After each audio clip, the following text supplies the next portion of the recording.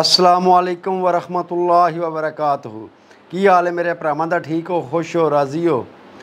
ਮੇਰੇ ਭਰਾਵਾਂ, ਉਹ ਅੱਜ ਜਿਹੜਾ ਵਾਕਿਆ ਤੁਹਾਨੂੰ ਸੁਣਾਣਾ ਹੈ, ਇਹ ਵੇਖੋ ਤੇ ਸੁਣੋ ਤੇ ਗੌਰ ਕਰੋ ਕਿ ਅੱਲਾਹ ਪਾਕ ਨੇ ਜਿਨ੍ਹਾਂ ਦੇ ਟੱਬਰਾਂ ਦੇ ਵਿੱਚ, ਘਰਾਂ ਦੇ ਵਿੱਚ ਇਤਫਾਕ ਕੇ ਤੇ ਅੱਲਾਹ ਪਾਕ ਨੇ ਉਹਨਾਂ ਕੀ ਕੀ ਨਿਮਤਾਂ ਨਾਜ਼ਲ ਕੀਤੀਆਂ ਨੇ। ਦੋ ਭਾਈ ਸਨ। ਇੱਕ ਭਾਈ ਦੇ ਚਾਰ ਬੱਚੇ ਸਨ ਵੱਡੇ ਦੇ। ਇੱਕ ਭਾਈ ਛੋਟਾ ਕੁਵਾਰਾ ਸੀ। ਦੋ ਦੋ ਤਿੰਨ ਤਿੰਨ ਕਿੱਲੇ ਉਹਨਾਂ ਦੀ ਜ਼ਮੀਨ ਸੀ। ਤੇ ਕਣਕਾਂ ਦਾ ਟਾਈਮ ਆਈ ਤੇ ਬੋਲ ਬੈਠੇ।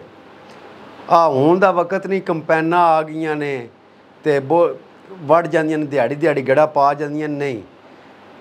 ਦਾਤਾਂ ਨਾਲ ਦਾਤਰੀਆਂ ਨਾਲ ਕਣਕ ਵੱਢਦੀਆਂ ਹਨ। ਕਣਕ ਵੱਢ ਕੇ ਤੇ ਫਿਰ ਇੱਕ ਰੁੱਖੇ ਦੇ ਨਾਲ ਚਾਰ ਚੁਹੇਰੇ ਮਸੱਲੀ ਬੋਲ ਬੰਦੇ ਹਨ। ਬੋਲ ਬਾ, ਉਹਨ ਫਲਾ ਦਿਆਨ ਉਹਨ ਫਲਾ ਲਾ ਕੇ ਤੇ ਕਿਸਲ ਧੁੱਪ ਚੜਦੀ ਆਈ, ਦਿਹਾੜ ਹੁੰਦੀ ਆਈ ਤੇ ਉਹਦੇ ਉੱਤੇ ਦਾੰਦ ਭਜਾਉਂਦੇ ਹਨ ਦਾੰਦ ਭਜਾਣੇ ਤੋਂ ਬਾਅਦ ਉਹਦੇ ਵਿੱਚੋਂ ਜਿਹੜਾ ਅਨਾਜ ਨਿਕਲਦਾ ਈ ਉਹਨਾਂ ਤਰੇਂਗਲੀਆਂ ਦੇ ਨਾਲ ਉਡਾਉਂਦੇ ਹਨ, ਉਡਾ ਕੇ ਤੇ ਉਹਦੇ ਫੱਕ ਫੁੱਕ ਤੇ ਕਿਹੜੇ ਸਿੱਟੇ ਸੁੱਟੇ ਖਾਲੀ ਹੋ ਜਾਂਦੇ ਹਨ, ਜਿਹੜੇ ਨਾੜ ਨੂੜ ਉਹਨਾਂ ਨੂੰ ਸਾਈਡ ਤੇ ਕਰਕੇ ਤੇ ਬੋਲ ਕਿਹੜਾ ਨਾ, ਦਾਣੇ, ਉਹ ਉੱਥੇ ਸਾਫ਼ ਕਰਕੇ ਤੇ ਇੱਕ ਸਾਈਡ ਤੇ ਕਰਦੇ ਹਨ। ਹੁਣ ਵੱਡਾ ਭਾਈ ਸੋਚਦਾ ਹੈ ਕਿ ਮੇਰੇ ਹੁਣ ਚਾਰ ਬੱਚੇ ਨੇ ਤੇ ਫ- ਸਾਡੀ ਜ਼ਮੀਨ ਵੀ ਦੋਵਾਂ ਭਰਾਵਾਂ ਦੀ ਇੱਕੋ ਜਿੰਨੀ ਹੈ ਕਿਉਂ ਨਾ ਮੈਂ ਮੇਰਾ ਛੋਟਾ ਭਾਈ ਕੁਵਾਰਾ ਹੈ, ਉਹਦੀ ਅਜੇ ਸ਼ਾਦੀ ਵੀ ਕੋਈ ਹੋਈ ਤੇ ਉਹ ਉਹਦਾ ਇਨਾਜ ਵੀ ਤੇ ਮੇਰੇ ਜਿੰਨਾ ਹੀ ਹੋਣਾ, ਜਿੰਨਾ ਮੇਰਾ ਇਨਾਜ ਹੋਣਾ, ਇੰਨਾ ਹੀ ਹੁੰਦਾ ਹੋਣਾ। ਤੇ ਕਿਉਂ ਨਾ ਮੈਂ ਆਪਣੇ ਬੋਲ ਤੋਂ ਕੁਝ ਬੋਰੀਆਂ ਉਹਦੇ ਬੋਲ ਤੇ ਸੜ ਛੱਡਾ ਰਾਤ ਨੂੰ ਤੇ ਅੱਲਾ ਕਰੇ ਉਹਦਾ ਕੋਈ ਬਣ ਜਾਏ, ਉਹ ਕੋਈ ਆਪਣਾ ਸਬਬ ਸੀਗਾ ਹੁੰਦਾ ਲੱਗ ਜਾਏ ਵਿਆਹ ਦਾ, ਕੋਈ ਪ੍ਰੋਫਿਟ ਉਹਨ ਹੋਵੇ ਬੋਲ ਚੋਂ ਤੇ ਉਹਦਾ ਸੀਗਾ ਲੱਗ ਜਾਏ, ਉਹਦੀ ਸ਼ਾਦੀ ਹੋ ਜਾਏ।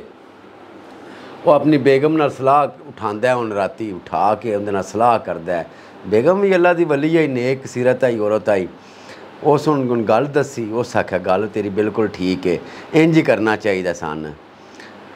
ਉਸ ਆਪਣੀ ਬੇਗਮ ਨੂੰ ਨਾਲ ਲਿਆ, ਨਾਲ ਲੈ ਕੇ ਡੇਰੇ ਤੇ ਜਾਂਦੇ ਨੇ। ਉਥੋਂ ਇਨਾਜ ਚੁੱਕਦੇ ਨੇ ਆਪਣੀ, ਆਪਣੇ ਬੋਲ ਵਿੱਚੋਂ ਕਣਕ ਚੁੱਕਦੇ ਨੇ ਦੋ ਤਰੇ ਬੋਲੀਆਂ ਅੰਦਾਜ਼ਨ ਚੁੱਕ ਕੇ ਤੇ ਉਹਦੇ ਬੋਲ ਤੇ ਜਾ ਪਾਈ ਦੇ, ਛੋਟੇ ਪਾਈ ਦੇ ਬੋਲ ਤੇ ਸੜ ਛੱਡਦੇ ਨੇ। ਉਹਦੇ ਬੋਲ ਤੇ ਕੇ ਛੱਡਦੇ ਨੇ ਤੇ ਉਹ ਛੋਟਾ ਭਾਈ ਕਿਹੜਾ ਨਾ, ਉਹ ਸੋਚਦਾ ਹੈ, ਵਾ, ਮੈਂ ਤੇ ਆਈ ਇਕੱਲਾ ਵਾਂ। ਮੇਰਾ ਨਾਂ ਤੇ ਕੋਈ ਬੀਵੀ ਬੱਚੇ ਨੇ। ਤੇ ਮੈਂ ਇੰਨਾ ਇਨਾਜ ਕੀ ਕਰਨਾ ਹੈ, ਵਾ, ਮੇਰੇ ਭਾਈ ਦੇ ਚਾਰ ਬੱਚੇ ਨੇ, ਉਂਝ ਉਂਝ ਦਿੱਤਿਆਂ, ਉਸ ਮੰਨਾ ਕੋ ਨਹੀਂ, ਤੇ ਮੈਂ ਆਪਣਾ ਇਨਾਜ ਰਾਤੀ ਜਾਣਾ ਤੇ ਆਪਣਾ ਇਨਾਜ ਉਹਦੇ ਦੋ ਤਰੇ ਬੋਰੀਆਂ ਸੜ ਛੱਡਣਾ, ਤੇ ਚਲੋ ਉਹ ਮੇਰੇ ਭਰਾ ਦਾ ਲੱਗਾ ਸੌਖਾ ਲੱਗ ਜਾ ਸਾਲ ਨਿਕਲ ਜਾਏਦਾ ਬੱਚੇ ਵੀ ਨਿੱਕੇ ਨਿੱਕੇ ਹੁੰਦੇ।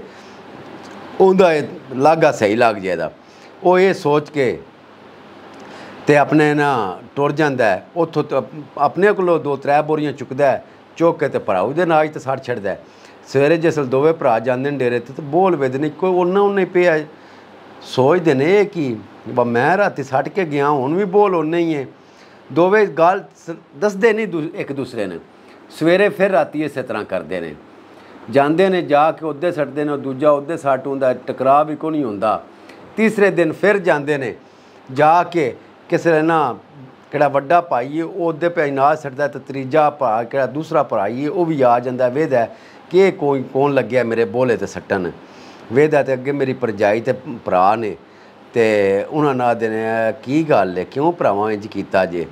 ਉਸ ਆਖਿਆ ਅਸਾਂ ਸੋਚਿਆ, ਇਹ ਵੇ ਕਿ ਤੂੰ ਕੱਲਾ ਹੈ, ਤੇ ਤੇਰੀ ਅਜੇ ਸ਼ਾਦੀ ਵੀ ਕੋਈ ਹੋਈ? ਤੇ ਅਸਾਂ ਆਖਿਆ ਕਹਿੰਦੇ ਬੋਲੇ ਤੇ ਕੋਈ ਨਾ ਹੀ ਸਟੀਏ, ਤੇ ਅੱਲਾ ਕਰੇ, ਇਹਦਾ ਕੋਈ ਬਣ ਜੇ। ਉਸ ਆਖਿਆ ਮੈਂ ਤੁਹਾਡੇ ਬੋਲੇ ਸੜਦਾ ਰਿਹਾ, ਤੁਸੀਂ ਮੇਰੇ ਬੋਲੇ ਸੜਦੇ ਰਹੋ।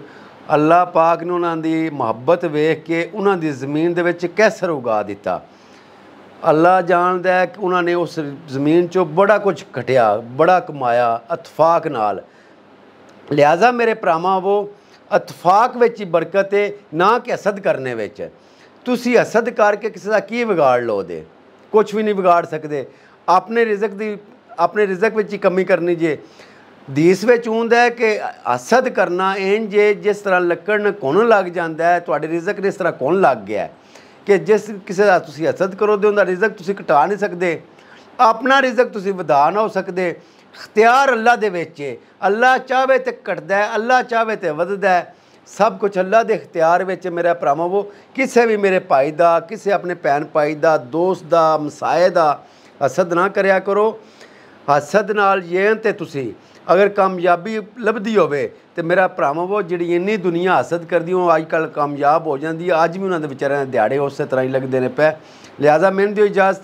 ਮੈਂ ਤੁਹਾਡਾ ਵੀਰ ਭਰਾ ਇੱਕ ਹੋਰ ਵੀਡੀਓ ਚ ਹਾਜ਼ਰ ਹੋਵਾਂਗਾ। ਅਸਲਾਮ ਵਾਲੇਕਮ